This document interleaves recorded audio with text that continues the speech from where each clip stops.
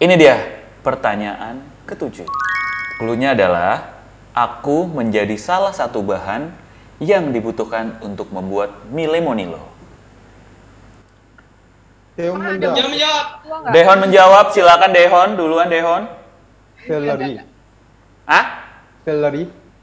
Bukan, salah. Johan menjawab, silakan. Bayam. Bayam kan udah di pertama tadi Bayam. Bukan salah. Bapak silakan. Bapak Silakan. sawi. Salah. Salah. Mau lihat lagi? Satu kali lagi mungkin. Ah, Ini dia. lagi ya kalau udah salah ya. Angela nih. Ayo, satu lagi.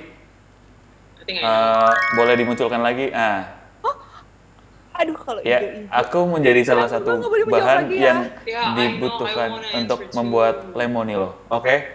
Angela, Sekarang udah orang yang berbeda. Daun pandan.